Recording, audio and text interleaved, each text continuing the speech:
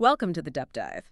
Today, we're digging into a really fascinating, maybe even bewildering company, AST SpaceMobile, ticker's ASTS. Right.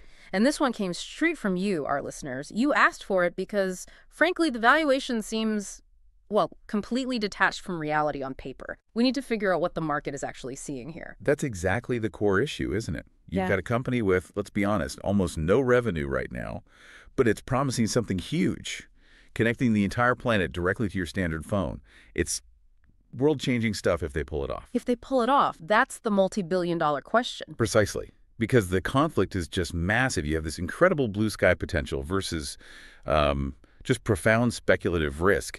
And when you try to model it out financially, the range is just wild. Our analysis shows anything from a bearish, say, $40 per share intrinsic value, Okay. all the way up to a super bullish case over $200 a share, Wow. And the current price, as of today, October 17th, 2025. trading around $81.48. So right in the middle of that huge uncertainty. Okay, so our mission today, get past the hype, look at the data, and really give you a solid assessment of why this valuation gap exists. What odds is the market actually pricing in? Let's dive in. All right, part one, the core foundation. Let's start with chapter one, business understanding. What exactly is ASTS trying to do here? Because it's not just another cell company. No, not at all. Their core idea is actually pretty clever in how it tries to manage risk. They're positioning themselves as an infrastructure provider. Think of it like building the space-based cell towers, but not selling the phone plans. Okay, so they partner with existing phone companies. Exactly. It's what the analysts are calling a B2B2C model or Hmm. even a super wholesale model. ASTS provides the network from space, and then they partner with the mobile network operators, the MNOs, Hmm. you know, the AT&Ts, Vodafones, Verizons of the world. Right. Those MNOs already have the customers, the billing systems, the local licenses. ASTS just provides the connection in places those MNOs can't reach terrestrially. And the deal structure is pretty straightforward, a 50-50 revenue split.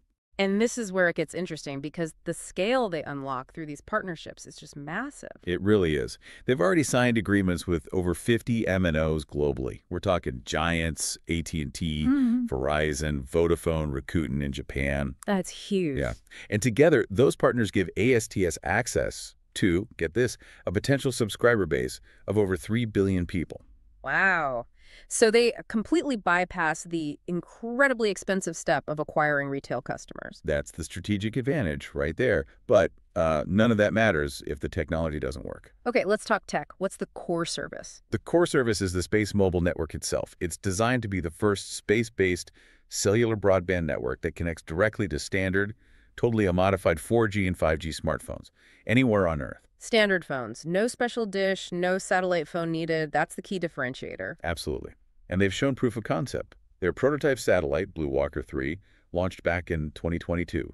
It successfully connected to phones on the ground, achieved speeds up to, I think it was 21 megabits per second. Okay, so proof it can work. But the real bet is on the next generation, right? The Bluebird satellites. Yes. Yeah. These are the production models. They're supposed to have these enormous phased array antennas over 2,000 square feet, apparently, Huge. aiming for speeds up to 120 millispeeds. The whole value proposition hangs on these working at scale. It's about eliminating those connectivity gaps. You know, the fact that 90% of the Earth's surface has no cell signal. Think emergency comms, bridging the digital divide. Big potential market. But what about competition? Who else is trying to do this? Well, you have the established satellite players like Iridium, Globalstar, but they require specialized hardware. You need their specific sat phone or device. Right, so not direct competition for the standard phone market. Exactly. The big direct threat everyone watches is SpaceX's Starlink. They're also working on direct-to-cell capabilities. And Starlink has, you know, a massive advantage with their own rockets for launch control and existing infrastructure. That's a huge cost and logistics benefit for them. So what's ASTS's moat against Starlink and others? It comes down to a few things. First, the sheer capital required is a massive barrier, billions of dollars. Second, ASTS has built up a really significant IP portfolio. We're talking over 3,300 patent claims related to their technology. That's intended to protect their specific approach. Okay, interesting. Let's shift gears then. Chapter 2. Management Evaluation. Who's running this show? It's founder-led. Abel Avellan is the CEO. He's got over 25 years in the space communications industry, and importantly, he had a prior successful exit, sold his last company for around $550 million. Okay, so he's got credibility, track record. definitely gives investors some confidence. But leadership isn't just about vision. It's about execution. And that's where we see some potential issues. You mean the lawsuit? Yeah, the 2024 class action lawsuit. It was related to production delays, blaming supplier issues. The market reaction was brutal. Stock dropped almost 24% on that news. It really highlighted the execution risk here. Building this stuff is complex, and scaling manufacturing is clearly a challenge for them. And how are they managing capital? Their strategy seems pretty focused. Extremely focused. It's all about deployment. Capital expenditures are ramping up, fast hit $323 million in 2025. They're pouring every dollar into getting those bluebirds built and launched. And they made that acquisition recently, right? Eliosat. Yes, that was a really shrewd move, actually, Eliosat Ltd. They acquired them in September 2025. Why? To get their hands on crucial S-band ITU priority spectrum rights. Okay, translate that. Why is S-band spectrum important? So spectrum is like the radio highway for wireless signals. S-band is a specific frequency range that's really good for mobile satellite services globally. Getting priority rights in the ITU, the international regulator, is like getting the HOV lane on that highway. It's incredibly valuable and hard to get. And crucially, they paid for Eliosat entirely with ASTS stock. Leveraging their high stock price. Smart. Very. But let's look at the financial picture through that management lens. If you look at return on invested capital, ROIC, it's terrible, deeply negative. So, They somewhere between minus 15% and minus 51%. which sounds awful, but you kind of expect that at this stage, right? You absolutely do. It's what some call the value destruction phase. You have to spend massively to build the infrastructure before you can generate returns. The entire investment thesis relies on the future profitability being so enormous that it justifies all this upfront negative return. It definitely explains the polarization around the company. You mentioned that short seller report from 2022. Right, the one calling it a wildly risky science project. Yeah. It just highlights how divided the view is on management's credibility and the project's feasibility. Okay, let's tackle those financials head on. Chapter 3 Financial Analysis. This is where things get uh, strange. Strange is one word for it. You've got a market cap currently bouncing around, let's say, $32.35 billion. Sometimes higher, it's volatile, 32 billion and the revenue trailing 12 months. a mere $4.89 million. Right. So the market values the company at roughly 6,600 times its current annual sales. Exactly. The disconnect is just staggering. It tells you immediately that the entire valuation is based on future expectations.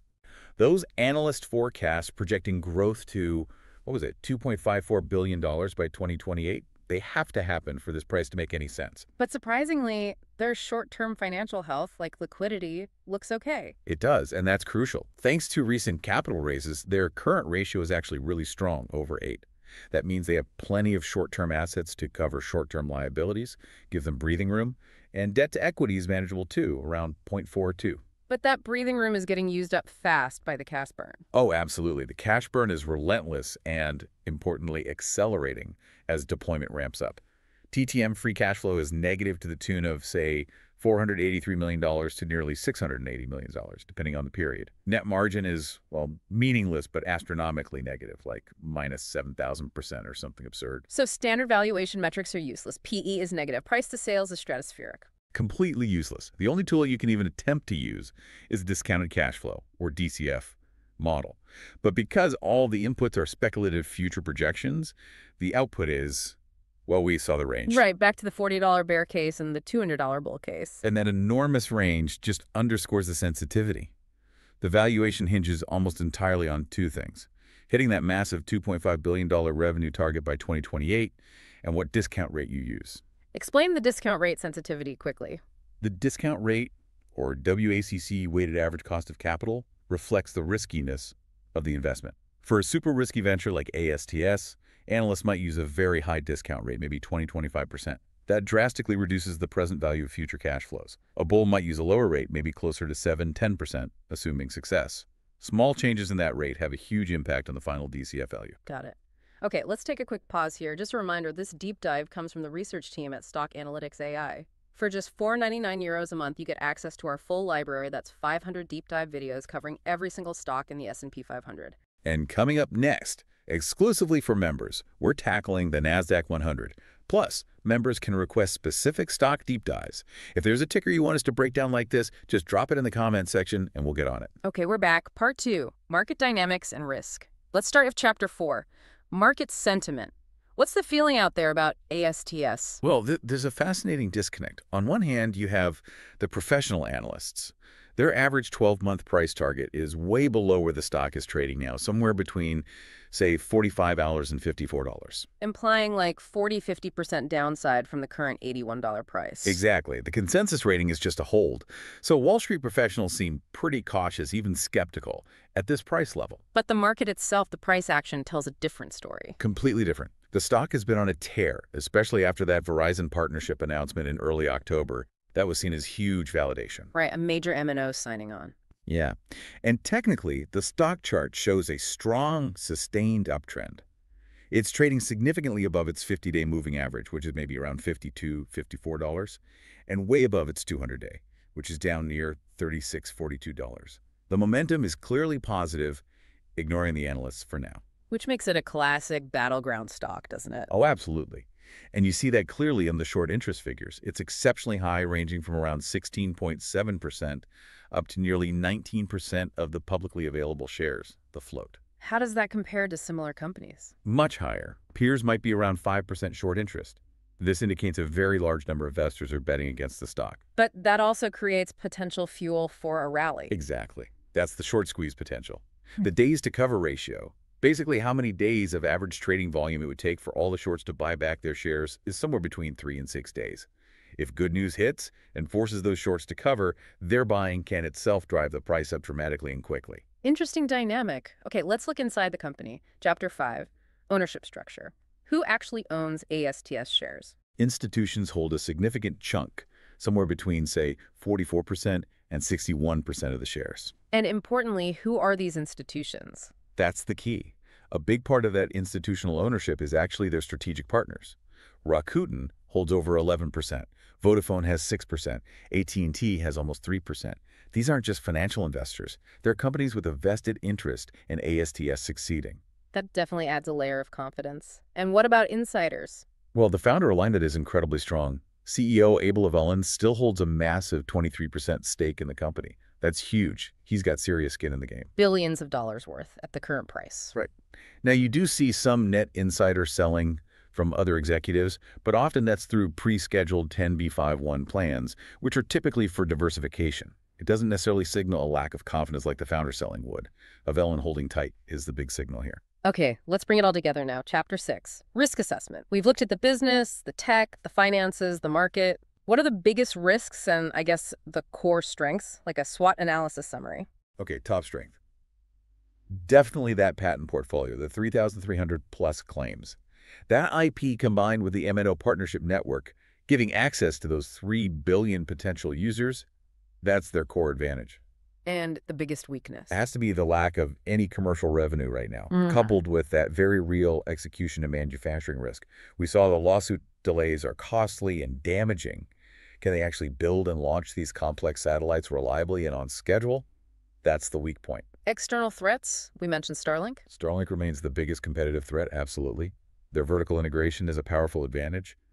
But there are other external factors adding pressure now, too. Like the macro environment. Yes. Two big ones recently. First, those new 2025 U.S. tariffs on high-tech components coming from Asia. Yeah. That could directly increase ASTS's hardware costs by, say, 12% to 18% and potentially cause more supply chain headaches and delays. Okay, hitting them right where they're vulnerable, manufacturing costs and timelines. Exactly. And second, the broader issue of high interest rates. We hmm. touched on this with the discount rate.